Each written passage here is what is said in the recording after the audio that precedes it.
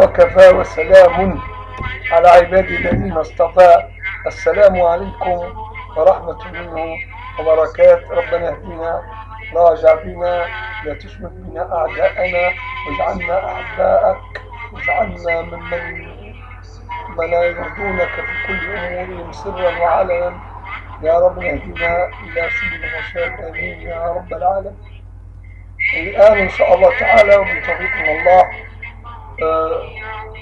نحاول نبين لكم خطورة الهوى ونبدأ بآية كريمة من سورة الجاثية وما أدراكم من الجاثية لا جنود بالدراسة آه الآية كذا عشر.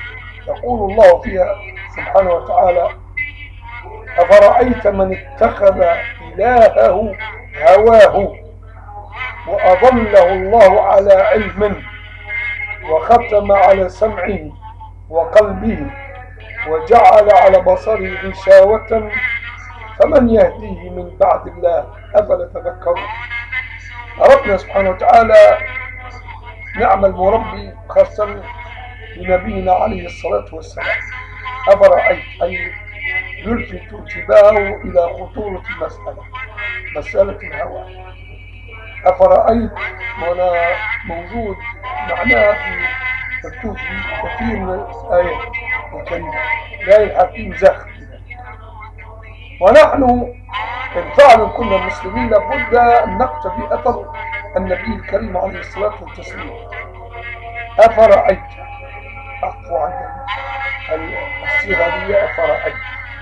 كان طريقة تعليمية بداوجية ثابت ثابت حسنها وثابتة نتائجها الطيبة.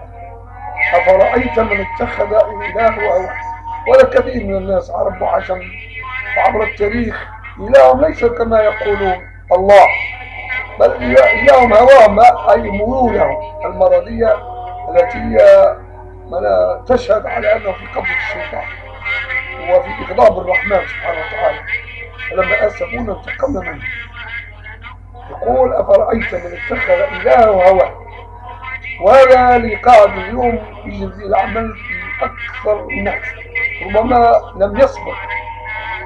الحالة اللي إحنا فيها حال أخرى لم تسبقها.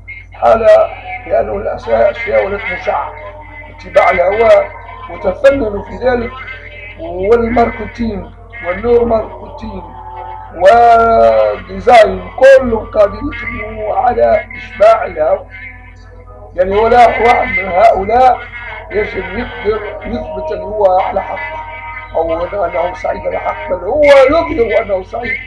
كي لعل تدخل حيلته على غيره الذين يعرفون أنهم أشقياء.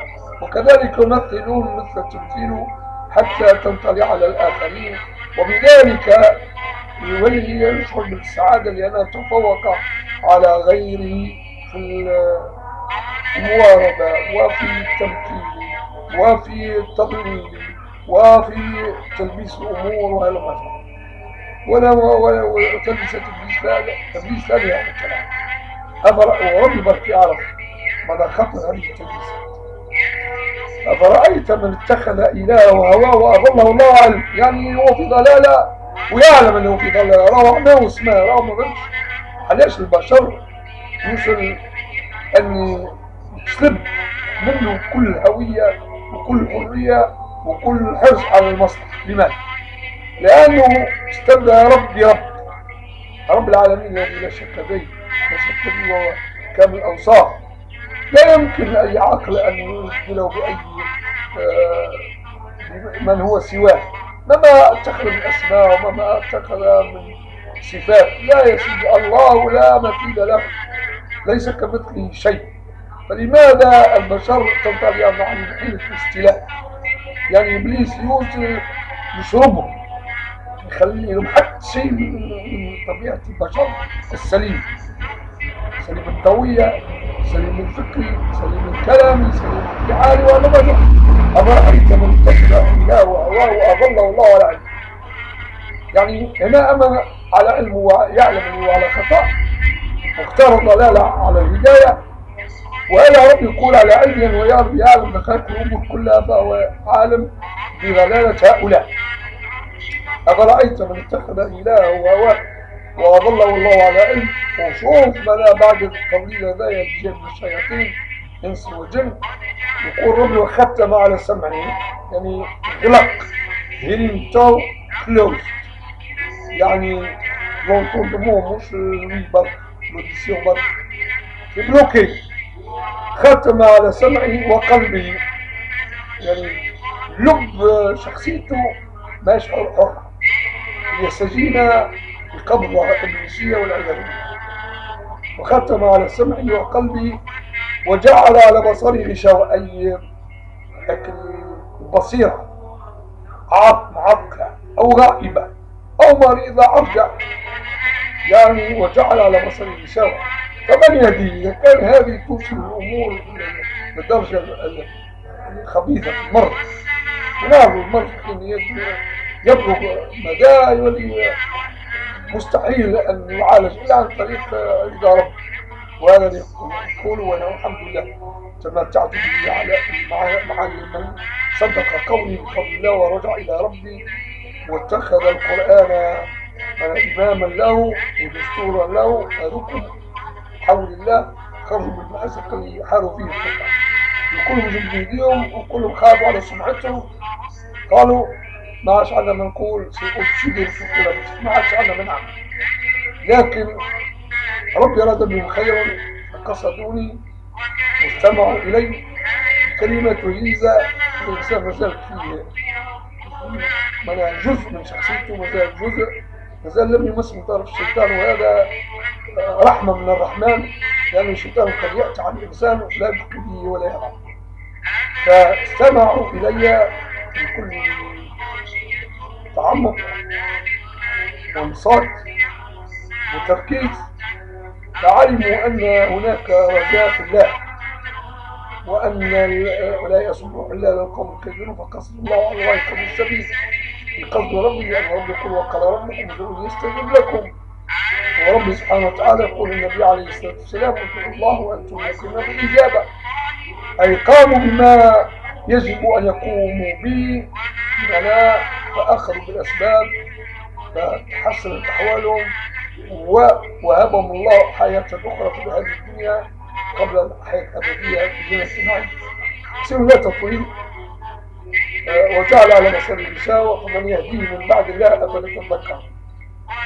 ما تكونش شوية الاحتجاجات شوية ريحة ريحة من العقل.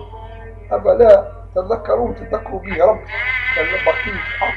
تذكروا اللي عندكم خالق رحيم بكم آه ما نمناش شيء لم تصله رحمة الله. وسعت رحمة كل شيء.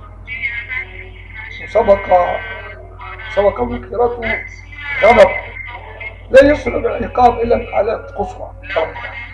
وإذا ما تورطت الإنسان يا جاد ما تورطت في الآثام تعلم أن الله يغفر ولا يبخل على عباده ولا يكل ولا يمل سبحانه وتعالى. وخزائنه ملأى بالمفاجآت السارة والخيرات الباقية إن شاء الله. وذكركم أن بعض المرضى ألمس فيهم الشيطان وقت يحب مصرعهم يعمل معهم كل سبل التوريد. لكن وقت يختار أنا الجزء اللي مازال نقي لم يمس من طرفه فإذا به الرأي الإنسان تأتيه بكل شغف وبكل آه، جد. وحب يسمع استمامين فإذا به يرى أحواله مرت لأشياء ذكرت في القرآن. منها الشيطان كيف ينسينا ذكر الرحمن نسأل الله بإحسان الفوسة نسأل الله شنو يعني مش هما آه، قصدوا هما ولكن الشيطان دلهم باش يختاروا ذلك.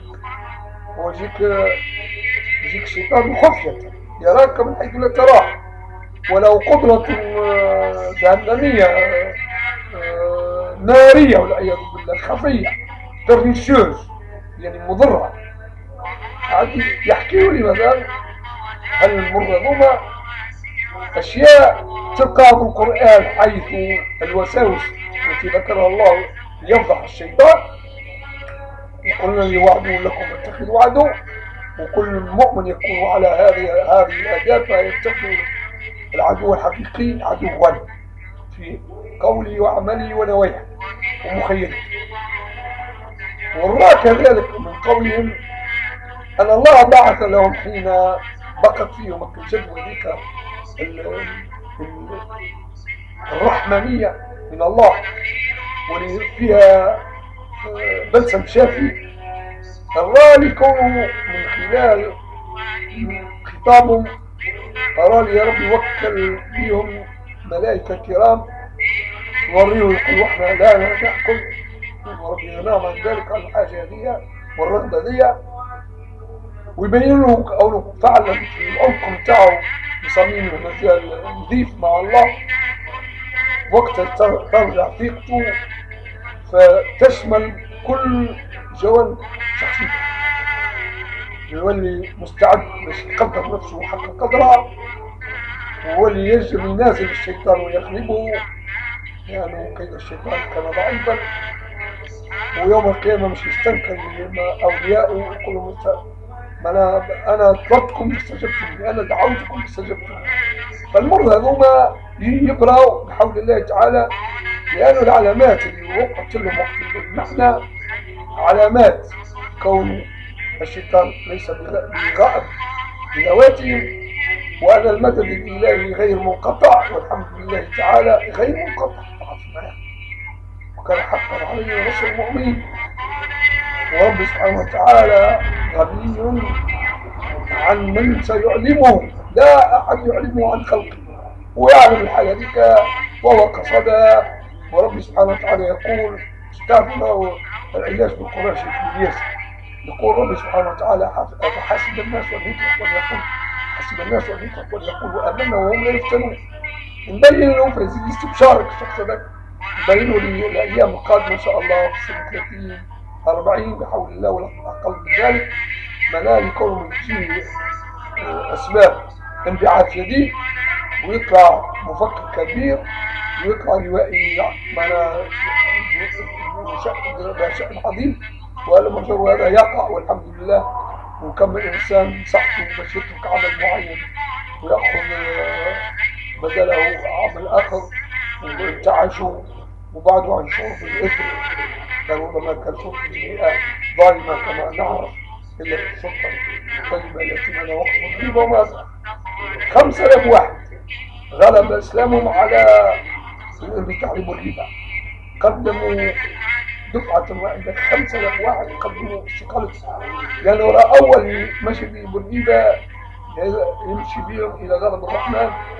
ويكون مآلهم خسران في الدنيا والآخرة. لا فائدة في التطوير والسلام عليكم ورحمة الله وبركاته.